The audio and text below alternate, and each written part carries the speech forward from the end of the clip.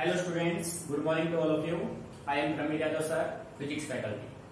So students, in previous lecture we discussed about electricity and in electricity we discussed about electric current. SI unit of electric current, definition of 1 ampere and electric current measuring device ammeter. So students, in our today lecture we discuss about properties of electric current and types of electric current electric potential etcetera right so student आज के lecture को start करते हैं। आपका जो first topic होगा, वो आपका होगा properties of electric current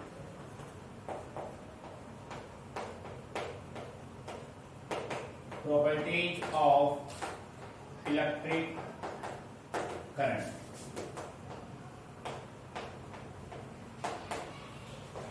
properties of electric current देखिए प्रॉपर्टीज़ ऑफ़ इलेक्ट्रिक करंट कोई थ्योरेटिकल कंसेप्ट नहीं है, आपको रटना कुछ नहीं है। कंप्लीटली आपको एक सर्किट डायग्राम से सोल्व करना है, ठीक है? अब आप इसको माइंड में कैसे रखेंगे वो देखिए। आप मान लीजिए कि आपके पास ये कोई एक कंडक्टिंग वायर है। आपने मान लिया कि आपके पास एक कंडक्टिंग वायर है। मान लिया, ठीक है? और इस कंडक्टिंग वायर में फ्री इलेक्ट्रॉन्स है राइट और इसको आपने कनेक्ट किया बैटरी से। या एक सेल से, ये आपके पास हो गया एक सेल ठीक है प्यारे बच्चों ये आपने इसको कनेक्ट किया, ये आपका बैटरी जिसका पोटेंशियल है बी बैटरी या सेल आप कह सकते हो। बैटरी और सेल ठीक है भाई? बेटे इसका पॉजिटिव टर्मिनल हो गया और ये इसका नेगेटिव टर्मिनल हो गया। ठीक है? बैटरी में दो टर्मिनल होते हैं, एक पॉजिटिव दूसरा क्या होगा? नेगेटिव अब देखो, ये जो अपने पास कंडक्टर है, इस कंडक्टर में फ्री इलेक्ट्रॉन है। क्या है भाई? फ्री इलेक्ट्रॉन है। ठीक है? बेटे प्रैक्टिकल लेके चलना है चीज़ों को आपको। रटना बिल्कुल भी नहीं, गलती से भी नहीं रटना है आपको। ठीक है? अब देखो, जैसे ही आपने कंडक्टर को, ये जो आपके पास कंडक्टिंग वायर है कंडक्टिंग वायर जैसे आपने कंडक्टिंग वायर को बैटरी से कनेक्ट किया इस कंडक्टिंग वायर के जो इलेक्ट्रॉन है, वो मोशन में आ जाएँगे।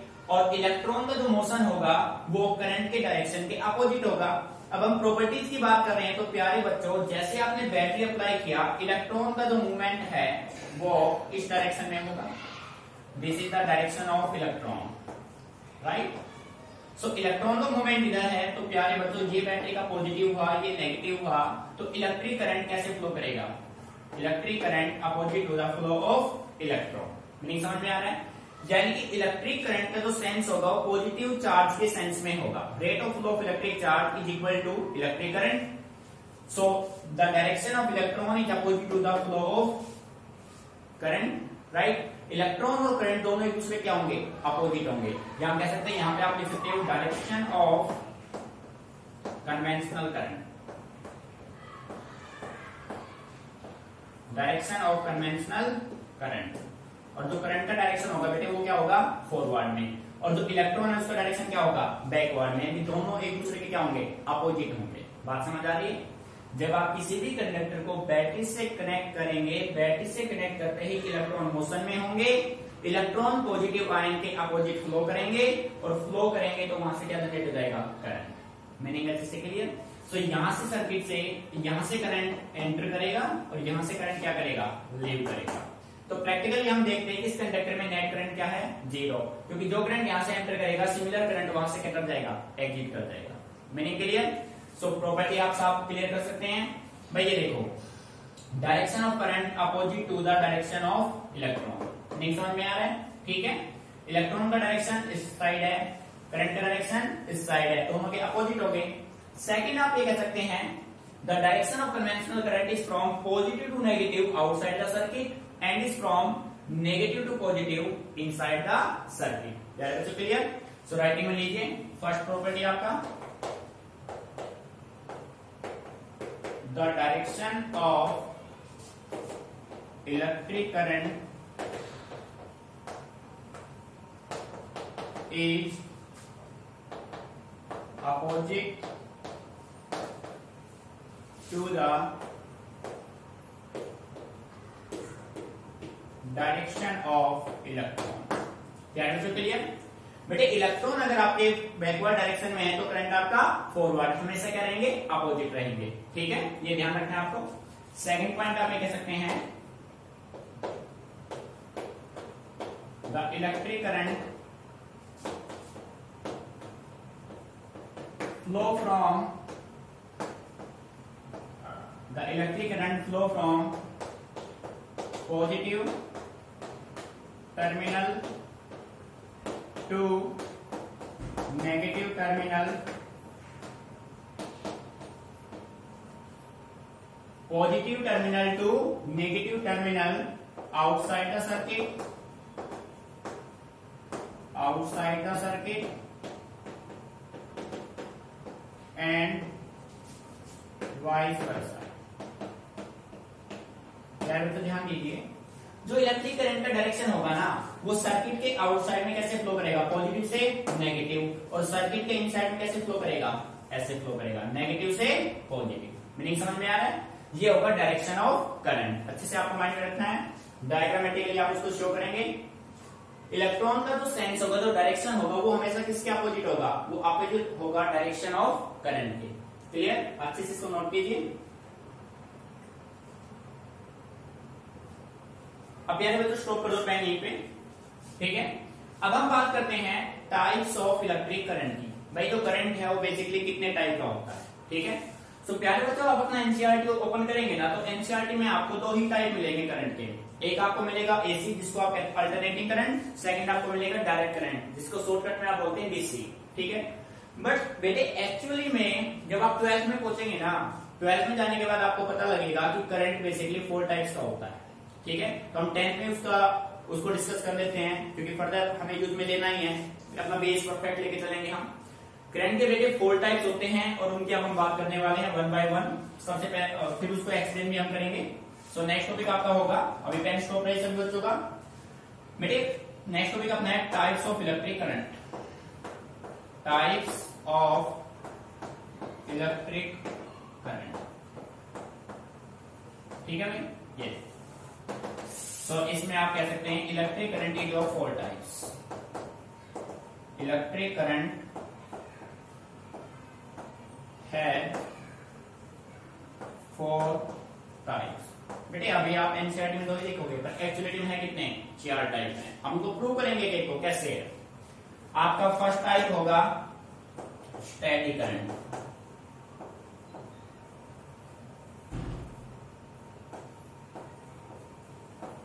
स्टैटिक करंट बेटे सेकंड टाइप आपका होगा अल्टरनेटिंग करंट अल्टरनेटिंग करंट प्यारे बच्चों थर्ड आपका होगा डायरेक्ट करंट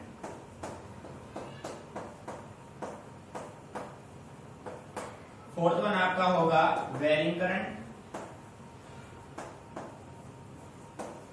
वेरिंग है भाई? देखो तो ये जो आपका अल्टरनेटिंग करंट है ना, इसको आप शॉर्टकट में यूज़ करते हो एसी ये एसी एयर कंडीशन नहीं है भाई? कभी आप सोचो एसी एयर कंडीशनर है। ये एसी अल्टरनेटिंग करंट है, ठीक है? ये आपका डीसी क्लियर देखो भाई अल्टरनेटिंग करंट का शॉर्टकट क्या है? एसी और डायरेक्ट करंट का शॉर्टकट क्या है? डीसी ये एसी एयर कंडीशनर है फिर आपको बता रहा हूँ मैं, अच्छे से ऑब्ज़र्व कीजिए। अब इन चारों टाइप को हम वन बाय वन एक्सप्लेन करेंगे। सो बच्चे, इसको अच्छे से नोट करो।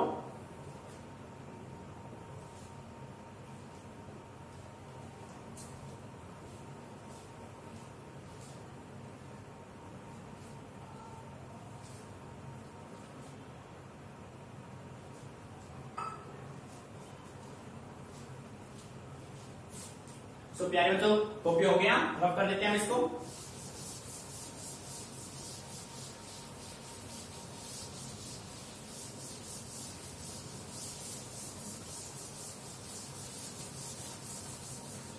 तो प्यारे बच्चों ध्यान दीजिए, सबसे पहले हम डेफिनेशन की बात करने से पहले कंसेप्ट को यूज़ करते हैं यहाँ पे। देखो, मैं स्टार्टिंग से आपसे कह रहा हूँ कि आपको फिजिक्स को रखना है नहीं गलती से भी। आपको समझना है, और समझने में आपकी पूरी मदद करूँगा भाई। ठीक है? कंसेप्ट को कैसे परमानेंटली माइंड में सेट रखेंगे? आप देखिए करंट में प्रोसेस है क्या? करंट के चारों टाइप को कैसे डिफाइन करोगे? बेटे, जितने भी टाइप है ना, पूरा करंट दो वर्ड में टिका हुआ है। एक आपके पास मैग्नीट्यूड है, दूसरा आपके पास क्या है? डायरेक्शन क्लियर इन दो वर्ड से ही आप फोर टाइप जो करंट हैं, उनको इजीली सॉल्व कर पाएँगे। देखो कैसे। एक हमने कहा मैग्नीट्यूड और प्यारे बच्चों, एक आपको हमने क्या कहा? मैग्नीट्यूड और सेकंड हमने कहा डायरेक्शन ठीक है? अब फोर टाइप आपके पास करंट के हैं। प्यारे बच्चों, अगर किसी करंट में ओनली मैग्नीट्यूड कांस्टेंट हो only magnitude the current whose magnitude remains constant with time भाई, जो भी प्रोसेस आपका होगा, जो भी घटना घटित होगी, किसके साथ होगी? टाइम के साथ। अगर किसी करंट में ओनली मैग्नीट्यूड कांस्टेंट है तो बेटे वो करंट कौन सा होगा? वो करंट आपका होगा स्टेडी करंट नहीं समझ में आ गया? अब इसको छोड़ दो। अब अब हम बात करते हैं ओनली डायरेक्शन मैग्नीट्यूड की बात नहीं कर रहे. अब हम कह रहे हैं the current whose direction remains constant with time ठीक है? ओनली डायरेक्शन अगर टाइम के साथ कांस्टेंट है तो बेटे वो आपका बन जाएगा डीसी क्या बन जाएगा? डीसी क्लियर है? दो टाइप क्लियर अब देखो, आपने दोनों को सेपरेटली किया दो टाइप आपने बना दिए. अब हमने दोनों को मिक्स किया. हमने मैग्नीट्यूड डायरेक्शन दोनों की ही बात की. हम ये कहते हैं, अगर किसी करंट में मैग्नीट्यूड और डायरेक्शन दोनों एक रेगुलर इंटरवल के बाद अपनी डायरेक्शन चेंज करे। अपनी डायरेक्शन को रिवर्स करे तो बेटे वो करंट बन जाएगा आपका एसी पर कंडीशन क्या है? रेगुलर इंटरवल अगर फ़र्स्ट साइकिल में इसने 10 सेकंड दिया तो सेकंड साइकिल में भी कितना टाइम लेगा? टेन सेकेंड लेगा। तो प्यारे बच्चों करंट कौन सा बनेगा? एसी क्लियर अब हम इसको चेंज करते हैं। अब हम ऐसा कर लेते हैं। मैग्नीट्यूड डायरेक्शन दोनों जो है टाइम के साथ चेंज होंगे बट एक रेगुलर इंटरवल में ना होके इरेगुलर हो। भाई, पहले रेगुलर हो रहा था, अब इसको क्या कर देते हैं? इरेगुलर मान लीजिए फ़र्स्ट साइकिल में इसने टाइम दिया टेन सेकेंड सेकेंड साइकिल में इसने टाइम दिया फिफ्टीन सेकेंड तो बेटे टाइम कांस्टेंट नहीं है टाइम चेंज हुआ इरेगुलर हो गया। इसका मतलब अब जो करंट होगा वो कौन सा होगा? वेरी चारों क्लियर ठीक है? तो प्यारे बच्चों, देखो, दो वर्ड से ही आपके चारों डेफिनेशन क्लियर हो गई आपको रटना नहीं है गलती से भी, ठीक है? अब देखो, वन बाय वन बात करते हैं देखिए, बेटे फ़र्स्ट आपने लिया static current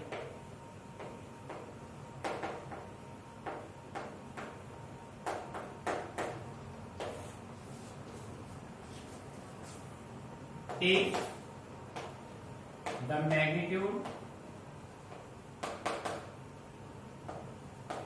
of current if the magnitude of current remain same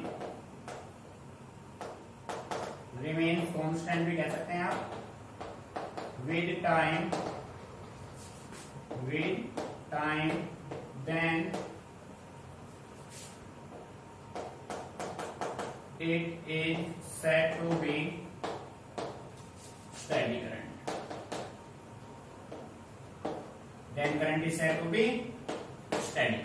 बेटे देखो, एक सिंगल वायर मैग्नीट्यूड और क्या होना चाहिए? कांस्टेंट किसके साथ होना चाहिए? टाइम के साथ। अगर किसी करंट में मैग्नीट्यूड टाइम के साथ कांस्टेंट है तो आपका जो करंट है, वो कौन सा होगा? That current is said to be steady current meaning अब ये डायग्रामेटिकली लेते हैं, देखो। आप ये डायग्राम इसमें रिप्रेजेंट कर पाएँगे। प्यारे बच्चों, यहाँ पे आपने लिया करंट ठीक है? ये हो गया करंट ओरिजिन और ये हो गया टाइम ठीक है? और किसी करंट में क्या कांस्टेंट होगा? मैग्नीट्यूड ये मैग्नीट्यूड अब क्या है इसमें? कांस्टेंट है. तो प्यारे बच्चों, कौन सा करंट है? This current is said to be steady current meaning अच्छे से क्लियर ठीक है? स्टेडी हो गया भाई. अब प्यारे बच्चों सेकंड आप यूज़ करेंगे डायरेक्ट करंट डायरेक्ट कर शॉर्टकट इसका क्या है भाई? डीसी तो प्यारे बच्चों, करना कुछ नहीं है। यहाँ पे जो मैग्नीट्यूड वर्ड था ना, इसको रिप्लेस कर दो। बस मैग्नीट्यूड को किससे रिप्लेस कर देंगे? डायरेक्शन से। तो आपका डेफिनेशन होगा if the direction of current if the direction of current remains constant या आप सेम कह सकते हो with time then it is said to be direct current. Then it is said to be direct current और DC so प्यारे बच्चे, इसमें बस एक वर्ड तो चेंज हुआ है। आपको रटना कुछ है नहीं, समझ के चलना है चीज़ों को। भाई, यहाँ पे तो मैग्नीट्यूड था यहाँ पे ओनली क्या आ गया? डायरेक्शन और इसमें आप ये डायग्राम भी यूज़ कर सकते हैं। एक डायग्राम इसका ये हो गया। सेकंड डायग्राम आप इसमें ये बना सकते हैं। ये देखो। भाई, यहाँ हो गया करंट ओरिजिन यहाँ पे क्या हो गया? टाइम अब ये देखो। तो प्यारे बच्चों, यहाँ पे डायरेक्शन जो है, वो क्या है? कांस्टेंट है या नहीं बताइए। द करंट डायरेक्शन क्या है? कांस्टेंट है। तो इसका मतलब एक कौन सा करंट हो गया? ये आपका हो गया डीसी डायरेक्ट करंट क्लियर है? एक सिंगल वर्ड चेंज हुआ। अब दोनों वर्ड को कंबाइन कर लेते हैं। सो so, दोनों के बेस पे थर्ड आपका जो टाइप बनेगा वो क्या बनेगा? थर्ड आपका बनेगा अल्टरनेटिंग करंट अल्टरनेटिंग करंट और प्यारे बच्चों शॉर्टकट इसका क्या है? एसी यार तो फिर बता रहा हूँ एयर कंडीशन नहीं है ये। ठीक है? एसी क्या अल्टरनेटिंग करंट अब आप दोनों को यूज़ कीजिए। ठीक है? If the magnitude if the magnitude and direction if the magnitude and direction of current both changes regularly. बेटे रेगुलरली को आप ये भी कह सकते हैं सिंशोडली सिंशोडली या periodically sinusoidally regularly with time with time, then it is said to be AC यार जो बात समझ में आ रही। देखो, यहाँ पे मैग्नीट्यूड और डायरेक्शन दोनों हैं। If the magnitude and direction of current both changing दोनों ही चेंज हो रेगुलरली मेन वर्ड क्या है? रेगुलरली एक रेगुलर इंटरवल के बाद पोजीशन को क्या करे? चेंज करे। तो that current is said to be alternating current diagram देखिए ये कंडीशन आपने मेंटेन किया। प्यारे तो यहाँ पे करंट हो गया। ओरिजिन यहाँ पे हो गया टाइम अब ये आपने फ़र्स्ट साइकिल ले लिया। मान लीजिए यहाँ आपको फाइव सेकंड लगा टाइम कितना टाइम लगा? फाइव सेकंड तो प्यारे बच्चों, यहाँ पे डायरेक्शन रिवर्स करने में भी आपको कितना टाइम लगेगा? फाइव सेकेंड यानी ये टाइम आपका अगर फाइव है तो यहाँ पे आपका क्या हो जाएगा? फाइव ज़ीरो से फाइव फाइव से टेन तो इंटरवल क्या आया? सेम तो this is the symbol of AC meaning आ रहा है समझ में? यानी कि मैग्नीट्यूड डायरेक्शन एक रेगुलर इंटरवल के बाद अपने आप को क्या करेंगे? रिवर्स कर दे। डायरेक्शन अपने आप रिवर्स हो जाए रेगुलर इंटरवल पे। तो करंट आपका कौन सा होगा? एसी अब प्यारे बच्चों, यहाँ पे जो रेगुलर वर्ड है, इसको अगर मैं चेंज कर दू रेगुलर को मैं किसमें चेंज कर दू? इरेगुलर में तो ये जो करंट है, वो आपका क्या बन जाएगा? वो आपका बन जाएगा वेरिंग करंट फोर्थ आपका है वेरिंग करंट वेरिंग करंट देखो if the magnitude and direction of current direction of current both changing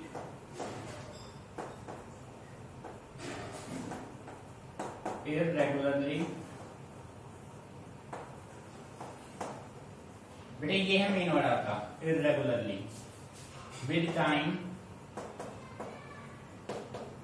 with time then it is said to be varying current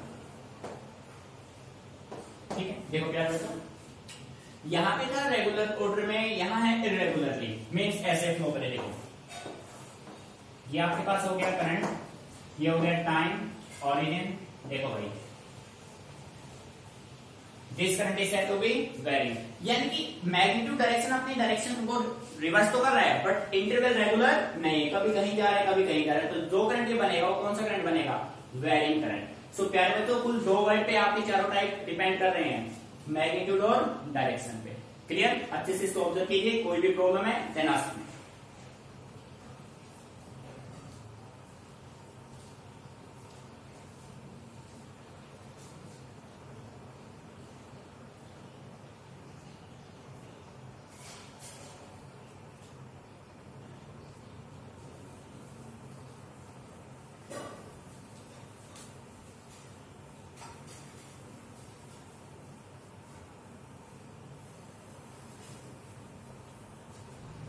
so students copy हो गया now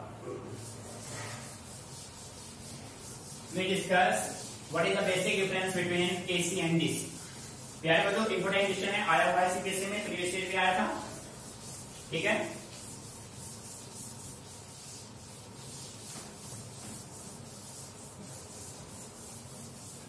देखो। प्यारे बच्चों अब जो क्वेश्चन हम कर रहे हैं ना, काफ़ी इंपोर्टेंट क्वेश्चन है, और आपका क्वेश्चन ये है ये जो क्वेश्चन हम करने वाले हैं इंपोर्टेंट क्वेश्चन है इस पार्ट का, ठीक है? पेपर में आया हुआ क्वेश्चन बेसिक किसी ने कई बार रिपीट किया इसको। क्वेश्चन आपका है difference between difference between AC and DC भाई, किस किस को डिफ्रेंशिएट करना है? एसी और डीसी को। अल्टरनेटिंग करंट को और डायरेक्ट करंट को। प्यारे बच्चों चीज़ों को समझना है रटना बिल्कुल नहीं है। इसको आप सेकंडों में याद रख पाएँगे कैसे? भाई लाइट अपने घरों में तो आती है। इलेक्ट्रिसिटी अपने घरों में है या नहीं है? डेफिनेटली है। सो so, प्यारे बच्चों अगर आपसे मैं पूछूँ कि भाई आपके घरों में एसी आता है डीसी आता है तो आपका आंसर क्या होगा? बेटे आपके घरों में जो है ना एसी आता है। और आपके घरों में डीसी भी होता है पर किस फॉर्म में होता है ये आपको अभी पता नहीं है। तो हम उन सभी चीज़ों की बात करेंगे जो हम डेली लाइफ में यूज़ ले रहे हैं पर हमें पता नहीं है। ठीक है? इसलिए मैं कहता हूँ फिजिक्स जो है रटने का तो है ही नहीं। आप जो डेली लाइफ में यूज़ कर रहे हैं ना कंप्लीट फिजिक्स ही है। बस उन चीज़ों को जान लो फिजिक्स बस बिल्कुल आसान हो जाएगा आपके लिए। प्यारे बच्चों जो अपना मेन्स जो सप्लाई आता है वो आपका एसी होता है। जो आपका इन्वर्टर का बैटरी होता है ना उससे आपको क्या मिलता है? उससे आपको डीसी मिलता है। ठीक है? सो so, दोनों को डिफ्रेंशिएट अगर हम करें तो फ़र्स्ट पॉइंट इनका डेफिनेशन आप कर सकते हैं। एक कॉलम बना लेंगे यहाँ आंसर का। ये देखो आंसर ये तो आपका क्वेश्चन हो गया भाई. तो प्यारे बच्चों ये हमने दो कॉलम बना लिए. ठीक है? यहाँ पे हमने रखा एसी और बेटे यहाँ पे आपने रखा डीसी ठीक है? सो so, प्यारे बच्चों फ़र्स्ट पॉइंट एसी में हम बात करें तो फ़र्स्ट पॉइंट आपका होगा the current whose magnitude and direction the current of magnitude and direction बहुत चेंजेस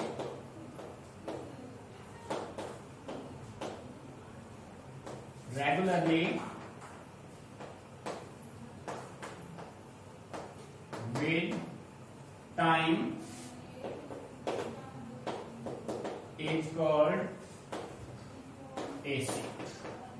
करंट होगा भाई? एसी डेफिनेशन होने का। बेटे, दो करंट मैग्नीट्यूड और डायरेक्शन दोनों चेंज हो रेगुलरली किसके साथ? टाइम के साथ तो करंट कौन सा बनेगा? एसी अब डीसी में जाओ। डीसी होता है यूनि डायरेक्शनल ठीक है? तो इसका मतलब आप ये कह सकते हैं इसका जो फ़र्स्ट पॉइंट होगा, वो आपका होगा the current whose direction remains same with time is called DC ठीक है प्यारे बच्चों भाई, करंट में अगर डायरेक्शन बस यहाँ पे किसका काम है? डायरेक्शन अगर डायरेक्शन सेम है कांस्टेंट है टाइम के साथ तो कौन सा करंट होगा? डीसी डायग्रामेटिक ले लेते हैं। आपने यहाँ पे ये डायग्राम बना दिया।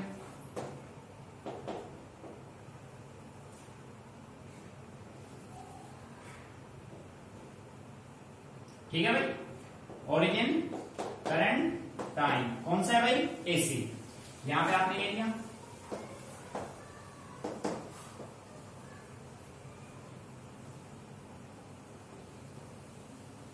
यहाँ पे जो है, वो डायरेक्शन क्या है? कांस्टेंट तो ये जो करंट होगा, वो आपका कौन सा होगा? वो आपका डीसी होगा. डीसी और ये कौन सा है? एसी क्लियर सेकंड पॉइंट अब देखो ये तो आप डेफिनेशन में स्टडी कर चुके हैं। सेकंड पॉइंट की हम बात करें तो बेसिक डिफरेंस होगा बेटे हर एक करंट का एक फ्रीक्वेंसी होता है। ठीक है? एसी का जो फ्रीक्वेंसी है वो अलग अलग कंट्री में अलग अलग होता है। जैसे अपने इंडिया की बात करें इंडिया में एसी जो है उसका फ्रीक्वेंसी 50 हर्ट होता है। अमेरिका में 60 हर्ट होता है। सो फ्रीक्वेंसी डिपेंड करता है कंट्री पे। ठीक है? सो so, हम कह सकते हैं the frequency the frequency of AC as यहाँ पे लिख लेते हैं हम 50 hertz 50 hertz in India second है आपका 60 हर्ट इन अमेरिका प्यारे बच्चों फ्रीक्वेंसी जो होता है ना इसी का, वो इंडिया में कितना होता है? 50 हर्ट अमेरिका में कितना होता है? 60 हर्ट ठीक है? सो सेकंड पॉइंट यहाँ पे होगा the frequency of DC as zero प्यारे बच्चों डीसी का जो फ्रीक्वेंसी है वो कितना होता है? ज़ीरो माइंड रखिए परमानेंटली ठीक है? अब हम बात करते हैं, जो एसी है ना, वो ओपन कहाँ से होता है? क्या उसका सोर्स क्या है? What is the source of AC what is the source of DC कहाँ से आपको मिलेगा? AC is obtained obtained from AC generator and mains है बच्चों एसी जनरेटर से। एसी आपको कहाँ से ओपन होगा? एसी जनरेटर से, जिसको आप डायनेमो भी बोल सकते हैं, और मेन्स यहाँ पे मेन्स क्या है? जो आपका पावर सप्लाई होता है। घरों में जो पावर सप्लाई है, उसको हम क्या बोलते हैं? मेन्स बोलते हैं। ठीक है भाई? ये आपका मेन्स हो गया। और डीसी डीसी का सोर्स क्या है? तो बेटे थर्ड पॉइंट की हम बात करें the source of DC is the source of DC is cell और बैटरी देखिए। बेटे, जो आपके सेल होते हैं ना जो भी आप जैसे ड्राई सेल मर्करी सेल, जो भी आप सेल यूज़ करते हैं, या जो भी अपने घरों में इन्वर्टर की जो भी बैटरी होती है, वो किसके सोर्स है? वो सभी डीसी के सोर्स है। उनसे हमें क्या मिलता है? डीसी ठीक है? अब हम बात करते हैं, जो सोर्स आपके पास आ गया तो उसका पोटेंशियल कितना होता है? बेटे इंडिया में जो पोटेंशियल है, वो कितना है? 220 वोल्ट है। अमेरिका में सप्लाई कितना है? 110 वोल्ट है। ठीक है? अब इनकी पीक वैल्यू मैक्सिमम वैल्यू जो करंट की होगी ना, वो क्या होगी? उसके बारे में हम डिस्कस करेंगे। तो आप ये कह सकते हो the peak value of AC as 311 volt बेटे एसी का पीक वैल्यू 311 वोल्ट होता है, ये आपको ध्यान रखना है इंपोर्टेंट विषय है ट्वेल्थ में भी आता है, ठीक है? सिमिलर यहाँ पे अगर हम बात करें the peak value of DC as 220 volt so प्यारे बच्चों, देखिए एसी का पोटेंशियल है 311 वोल्ट 311 वोल्ट डीसी का पोटेंशियल है 220 वोल्ट तो बेटे दोनों में से डेंजर कौन होगा?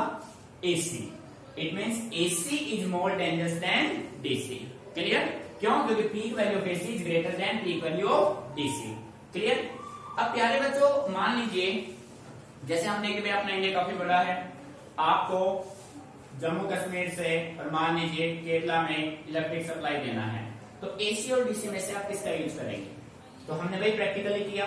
हमने एक बार एसी को यूज़ किया, फिर हमने डीसी को यूज़ किया। जब हमने दोनों को यूज़ किया तो हमने पाया कि एसी में एनर्जी लॉस डीसी के कंपेरिजन में वेरी लेस थे। यानी कि एसी में एनर्जी लॉस तो होंगे but very small as compare to DC right so we can say that AC is use for long